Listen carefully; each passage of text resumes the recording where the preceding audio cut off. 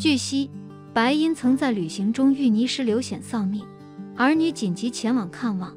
当初不离反对嫁穷丈夫，经历生死恩爱五十二年，婚后两人育有一儿一女，他们也一直是圈内公认的模范夫妻。两人去台湾旅游，突然遇上大风加泥石流，被困在山上，所幸获得了当地居民救助，让他们逃过一劫。也因为这次经历生死，让夫妻二人的感情更加稳固。白银早早就嫁给了现任老公。对方是一位职业足球员，一开始他们的婚姻遭多方反对，不过他们却用实际行动证明了这份感情。当时作为球员的黄文伟月薪只有七百元，一年只有九个月薪，铜锣湾一层楼要四万块，幸好朋友相助才有首期买楼，然后逐个月慢慢供。虽然他有稳定收入，但是有美貌有家世的白银身边围着一圈追求者。其中不乏身家过亿的社会名流，嫁入豪门并不是难事，所以当两人谈婚论嫁时，随即遭家人反对，认为对方是波妞没前途，而公司又因立场不同反对两人恋情，更有人问他爱国定爱家。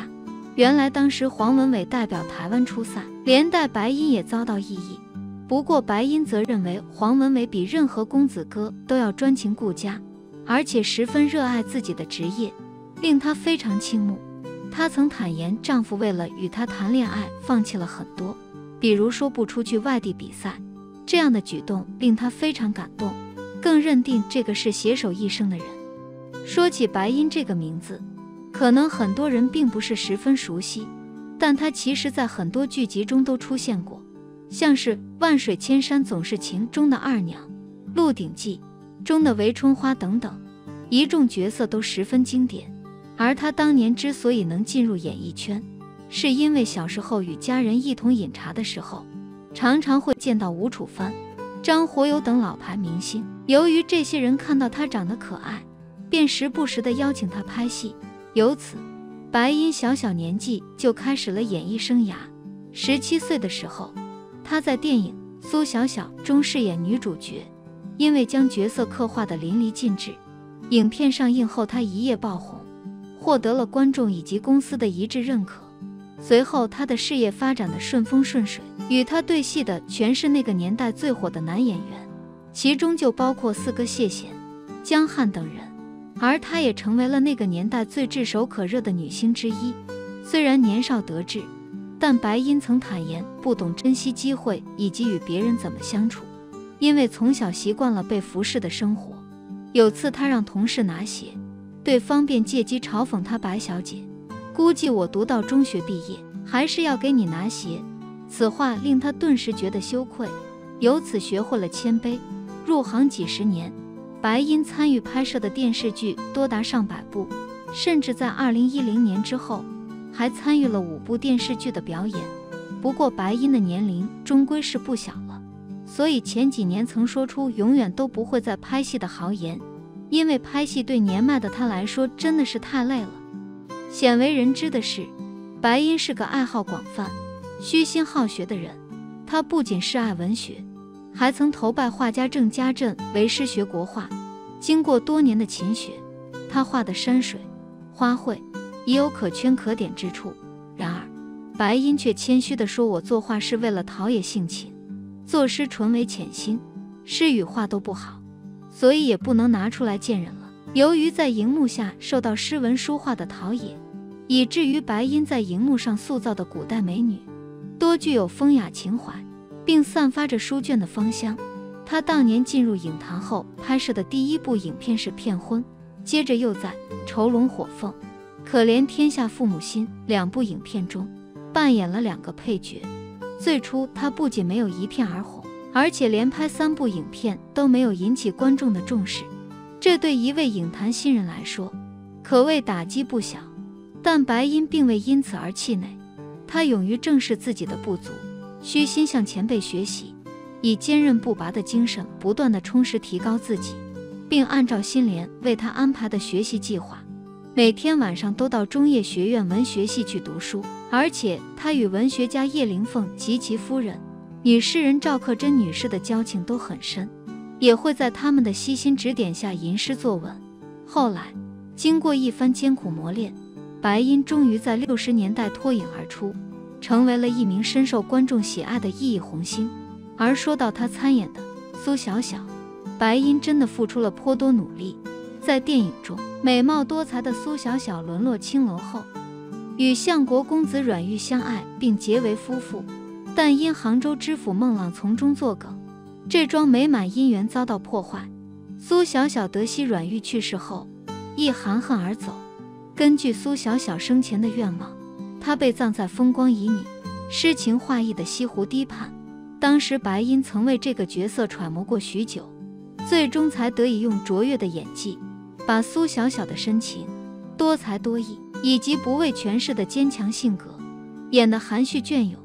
这部影片在港九、东南亚上映后曾轰动一时，该片更是在香港多次重映，哪怕在多年之后，仍然受到观众的欢迎。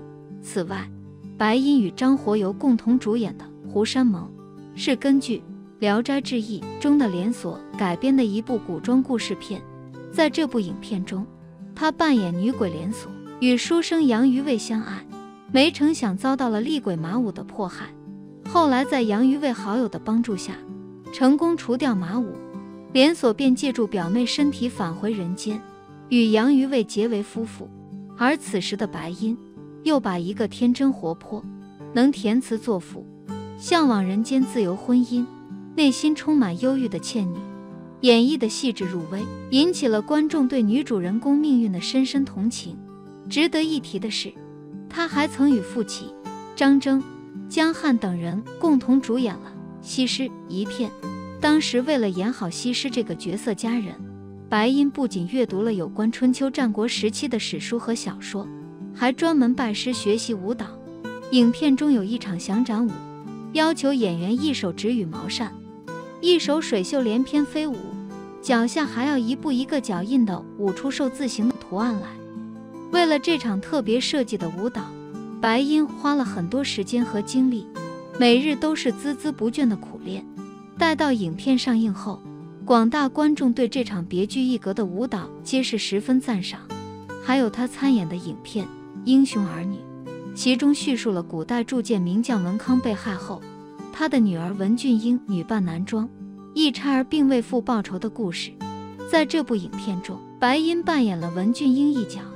由于第一次演古装武打片，他曾特别向著名武师邵汉生请教武艺，不但学骑马射箭，还习得了拳脚功夫。经过几个月的苦练，虽说不是精通，却也能演得似模似样了。而在拍摄过程中，白音曾被对手从高处踢下来，当场晕倒，但他清醒后稍事休息，又继续拍戏。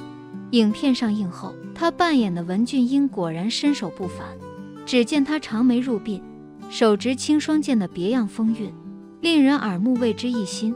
除此以外，白音在六十年代还曾主演《双玉蝉》《永远的微笑》等多部影片，而随着演技的不断提高。他的明星地位也更加巩固。进入七十年代后，他又在《挚爱亲朋》一片中扮演某富豪的女儿方金芳。当时他以深刻的内心体验，把一个纯洁的少女在父亲的培养熏陶下，逐渐变得刻薄、虚伪、唯利是图的过程，刻画的惟妙惟肖，演来层次鲜明，真实又可信。另外值得一提的是。他还在《势不两立》这部大胆揭露黑社会内部纷争的影片中，把一个集团里的大家姐演得十分泼辣且精悍。细数白音的过往作品，不难看出她是一个敬业又有天赋的好演员。